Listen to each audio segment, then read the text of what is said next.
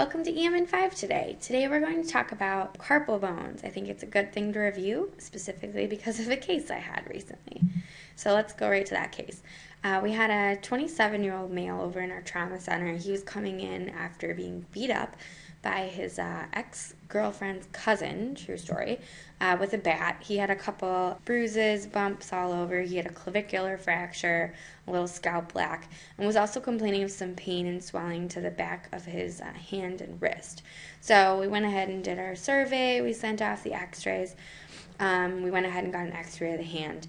And uh, when we came back to look at the results, it was kind of a busy night, so we were just looking at the prelim reads. The moonlighter had read a triquetral fracture of that wrist. So we're all sitting there looking at this x ray, trying to find the fracture, which was not obvious. And to be honest, none of us could remember or find uh, which bone the triquetral bone was on this x ray we were looking at.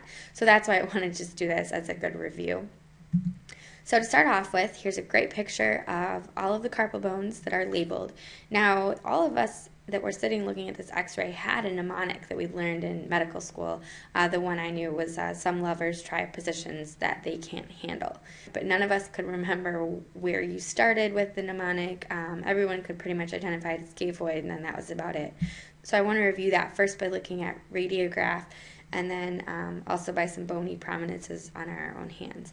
So using this mnemonic, you're going to be starting scaphoid down here. So some lovers try positions. You're going to be going across in the proximal row and then coming back to the beginning and going across in the distal row. So that's what it looks like on the radiograph, just for a point of reference. Now let's talk about the bony landmarks. I think the two easiest ones to palpate are your scaphoid and then the pisiform. So that's going to be in your first row of the some lovers try positions. The way to remember where to start with this, scaphoid being the first of the mnemonic, is that you can always remember the scaphoid because that's the one you break with a FOOSH, and that's going to be your snuff box tenderness. So scaphoid, snuff box tenderness, it's right by the thumb. We all know where the snuff box is. So remember that's in your proximal row. That's where you're going to be starting your mnemonic off. And you're going to be aiming towards the opposite side, which is going to be your pisiform, and that's the other bony landmark that's easy to palpate right here. And you can kind of remember it. Pisiform is the pointy by the pinky. So that one's really easy to palpate. It's a pretty good bony landmark. You can feel it there. And then here's again just looking. So here's your scaphoid on uh, the skeleton, and there's your pisiform sticking out. There's your triquetrum right behind it. That's what we're trying to find. I can't really feel the hook of the hamate that well on my hands, but maybe it's more prominent in others. That's also a good bony landmark. So here it is all together. If you're looking at your hand and trying to remember where each one should be that you're palpating to see if the patient's tender at a certain area, you have the scaphoid, um, you're going across some lovers try positions, pisiform, um, that they can't handle. Now we have another problem. There's these two T's up here. It's the trapezoid and the trapezium. So which is which? Uh, that always gets a little tricky. So this is the trapezium, and this is the trapezoid. There's two ways I've heard to remember that. The trapezium is by the thumb, so trapezium thumb. Another way I've heard is that you need your thumb to use a trapeze. I like the trapezium by the thumb. And then you can remember the trapezoid is uh, this one next to it. So you're going to be going across, proximal row, come back, trapeziums by the thumb, go across, all the way to the hook of the hamate. So, I want to talk a little bit about fractures and carpal bones. The most common fractures are going to be your proximal row. So, that's scaphoid, lunate, triquetrium, and pisiform.